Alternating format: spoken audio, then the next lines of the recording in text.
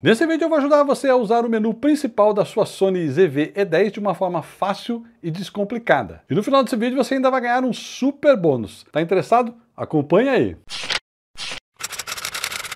Olá, eu sou o Gil Carvalho, nesse canal eu falo sobre câmeras, falo sobre microfones e faço tutoriais como este aqui, onde nós vamos ensinar para você como você utiliza o menu principal da sua Sony ZV-E10. Lembrando que esse vídeo faz parte da série de tutoriais que eu tenho aqui no canal falando sobre a Sony ZV-10. É uma série de tutoriais onde eu falo tudo, absolutamente tudo sobre essa fantástica câmera da Sony, a Sony ZV-10. Uma câmera muito boa para você produzir conteúdo. E como é que vai funcionar esse vídeo? Bom, para que esse vídeo não fique muito extenso e enfadonho, pois o menu principal da Sony ZV-10. É um menu que contém muitos itens e é um pouco complicado. Eu resolvi escolher aqui 15 ajustes ou 15 configurações que você pode ajustar rapidinho aqui no menu principal da sua Sony ZV-10 e que esses 15 ajustes e configurações, somado com as configurações que eu já ensinei para você lá no menu de funções, menu FN, vão totalizar praticamente 90% das configurações e ajustes que você pode fazer aqui na sua Sony ZV-10. 10. Se você perdeu qualquer um desses vídeos falando sobre menu de funções, eu estou deixando aqui na descrição e também nas telas finais deste vídeo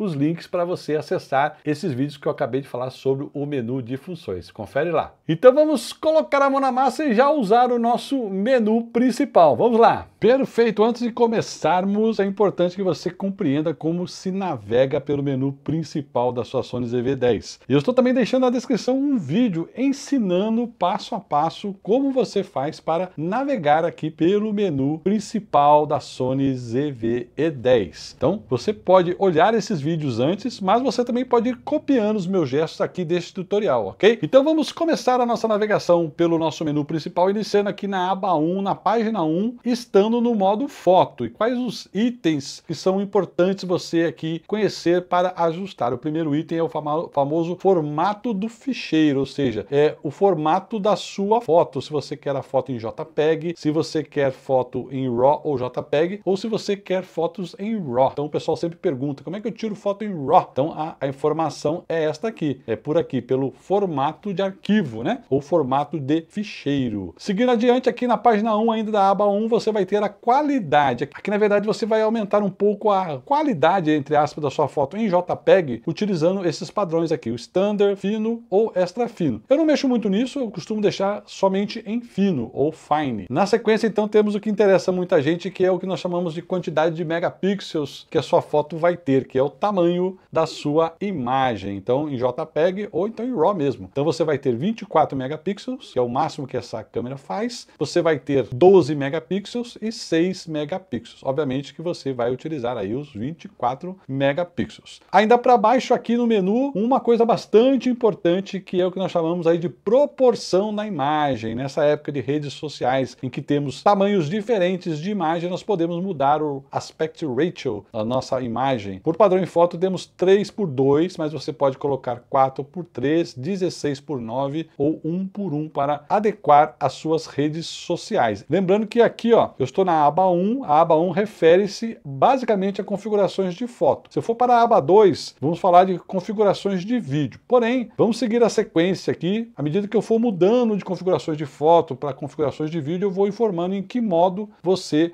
deve estar para poder ver as opções aqui no menu. Ainda aqui na aba número 1, seguindo aqui para a página número 4, temos um item bastante importante que é o foco por detecção de rosto ou olhos, que está aqui colocado como DEF AF cara olhos, cara é rosto. Você entra na opção, aqui eu deixei desligado, mas você pode e deve colocar em on, ligado, certo? E você pode definir que motivo, ou seja, qual o assunto que você quer detecção do foco. No caso aqui para pessoas é humano, se você tiver um animal, um pet, ó, perceba que aqui você vem escolhe o animal e aí você tem foco por detecção de face e de olho também para o seu animal. Vou deixar aqui em pessoa, né, ou humano, que é o mais comum que a gente costuma utilizar. Você pode selecionar em que olho você quer que o foco seja feito, no direito, que é o right, ou esquerdo, left, ou deixar em alto, né? Eu costumo deixar aqui no right, que eu gosto mais. E temos também aqui a questão de você visualizar a moldura do rosto e dos olhos em pessoa e também visualizar moldura nos olhos do animal. Seguindo ainda na aba 1, página 6, você vai ter aqui o que nós chamamos de modos de medição, que aqui está traduzido como modo do medidor. Isso aqui, a sua câmera tem um fotômetro que faz a medição da luz no ambiente na hora que você vai tirar uma foto. Então existem alguns parâmetros que você pode utilizar. Por padrão vem como multi, ou seja, vai pegar, vai fazer uma leitura da luz em toda a cena aqui da sua foto. Você pode também fazer com que o fotômetro faça uma leitura ao centro. Você tem é, um ponto específico, que é o ponto normal, e você tem a média ponderada, enfim, você tem aqui o que nós chamamos de modo de medição. Em geral, nós utilizamos o modo de matricial ou multi, né? Deixamos em multi. Então é bom você conhecer. Essa função não está em nenhum outro menu, a não ser aqui. Então você só vai encontrar aqui no menu principal. Embora você possa personalizar o menu de função para colocar os modos de medição aqui, mas isso aí é assunto para um outro vídeo. Muito bem, da aba 1, de coisa importante para você ver no modo de fotografia, no modo de foto, eu já passei. O que, tá, o que eu não passei aqui vai estar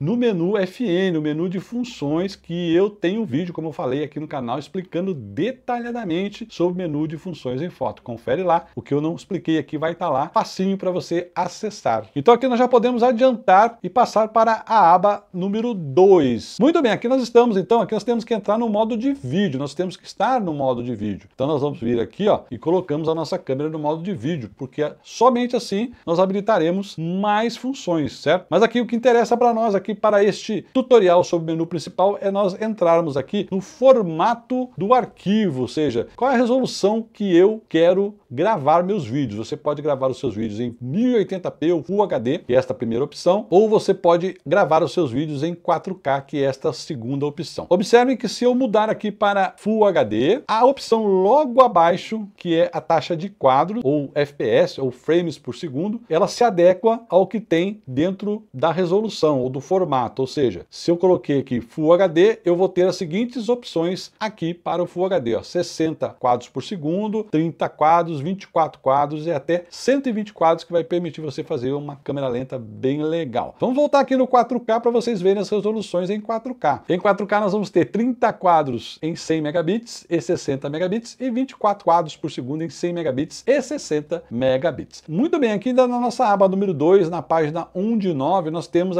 esta opção aqui que é transmissão USB. Então é por aqui que você consegue habilitar a sua Sony ZV-E10 para fazer uma transmissão, uma live, utilizando apenas um cabo USB. Você não precisa de uma placa de captura entre a sua Sony ZV-E10 e o seu computador, o seu notebook. Obviamente que tem um passo a passo que eu vou explicar num vídeo mais adiante aqui no canal, mas basicamente você consegue fazer lives com esta câmera sem ter uma placa de captura. Muito bem, ainda navegando aqui na nossa aba 2, vamos para a página 2. E aqui nós temos então duas configurações muito importantes com relação ao ajuste do autofoco. Primeira opção é a opção que você muda a velocidade de transição do autofoco. Então você entrando aqui, você tem uma escalinha, ó, onde você muda a velocidade de transição do, do autofoco, mais rápido, menos rápida. Então, por exemplo, se eu tivesse um outro objeto do lado do meu, do meu prisma aqui, eu, eu quisesse mudar a velocidade que o foco da câmera passa do prisma para o outro objeto, eu viria aqui nesta opção e aumentaria ou diminuiria esta velocidade. No caso, por padrão, vem como 7. Então, vamos deixar assim como está. A segunda opção é a opção que muda a sensibilidade do autofoco no assunto que você está gravando o vídeo, certo? Percebam que são opções para vídeo aqui, porque eu estou do modo na aba de vídeo no modo de vídeo. Bom, aqui mesma coisa, eu tenho uma escala onde eu deixo mais reativo o meu autofoco aqui na opção número 5, ou deixo ele mais fixo, ou seja, eu faço com que o meu autofoco, a sensibilidade que ele vai ter no assunto que eu estou gravando, seja mais rápida ou seja mais devagar. Seguindo ainda na nossa aba 2, nós vamos lá na página número 7. Você deve estar falando, nossa Gil, pulou muitos itens. Mais uma vez eu vou reforçar com vocês. Assistam os vídeos do menu FN para foto e para vídeo, que você dominando menu FN para foto e para vídeo, muita coisa disso que eu pulei vai estar lá e você vai ter acesso rapidinho lá. Aqui interessante aqui na aba 2, na página 7, é a ativação das zebras. Aqui você entra em definição zebra ó, e você pode então ó, ligar a sua zebra. O que é a zebra? A zebra vai mostrar a exposição da sua cena. Então, ó, você pode ligar a sua zebra e pode definir um nível de sensibilidade. Muito bem, seguindo aqui para baixo, você tem uma coisa que muita gente procura, que são as linhas de grade ou grid. Ó. Por padrão está desligado, você pode utilizar o grid 3x3, o grid quadrado, o grid diagonal e quadrado. Não vou entrar em detalhes em todos eles, que vai ter um vídeo rapidinho falando sobre eles aqui, um,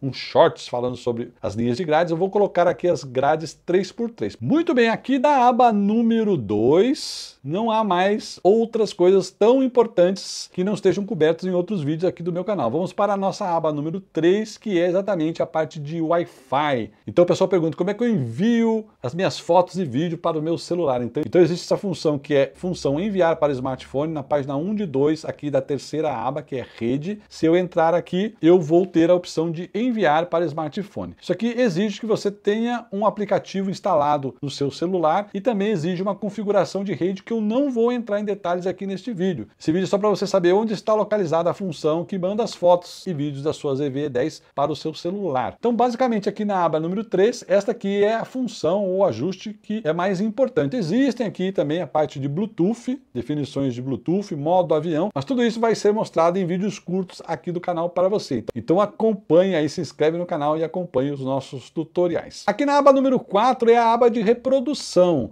Basicamente, ela tem três páginas. Basicamente, a gente quase que não usa nada aqui a não ser o modo de apresentação de slides. Ó. As outras funções do, de reprodução, elas estão aqui neste botão, ó, botão play. Aqui você vai ter várias funções de reprodução que por aqui mesmo, e usando aqui também a lixeira, você e os botões de controle aqui, você consegue trabalhar reprodução de vídeos e fotos aqui na sua Sony ZV-E10. Seguindo para a próxima aba, que é essa da malinha, é a aba de configurações gerais da câmera. Então, uma função bem legal aqui é a função de brilho do monitor. Ó. Se você entrar aqui, você pode alterar o brilho do seu monitor, do seu LCD. Mas você com certeza, quando estiver ao ar livre, vai querer utilizar o máximo aqui a luminosidade desse monitor, porque o LCD da Sony ZV-10 e da maioria das câmeras da Sony, quando estão sob a luz do sol, eles praticamente ficam brancos, você não consegue ver imagem nenhuma. Então, às vezes, você precisa vir aqui e aumentar o brilho do seu monitor. Ainda aqui nessa página 1 da aba número 5, temos uma coisa bem legal aqui, que é uma coisa que muita gente, quando compra a ZV-10, reclama, porque a ZV-10 desliga rapidamente o LCD. Então, isso é porque aqui em opções de definições de alimentação, ou seja, aqui deveria ser assim, tempo de LCD ligado, né? Você entrando aqui, você tem o tempo de poupar energia, no caso, o meu caso aqui, eu programei para dois minutos, mas normalmente para quem compra a ZV-10 logo no primeiro momento, ela vem por padrão em 10 segundos. Então, o pessoal acaba achando que a ZV-10 está com um defeito, porque liga a ZV-10 e ela apaga o LCD rapidinho. Está apagando porque aqui está em 10 segundos essa configuração. Eu costumo colocar 2 minutos, 1 um minuto. Quanto mais tempo você colocar aqui, mais bateria vai consumir. Muito bem, agora andando um pouquinho mais para frente aqui na nossa aba número 5, na página 2, nós entramos aqui ó, na parte de definições de HDMI. Então aqui também é para você fazer live, para você, você configura esses parâmetros quando você estiver utilizando a sua Sony ZV-10 com uma placa de captura, você liga Sony ZV-10 na placa de captura e a, e a placa de captura através de um cabo HDMI, você liga lá no seu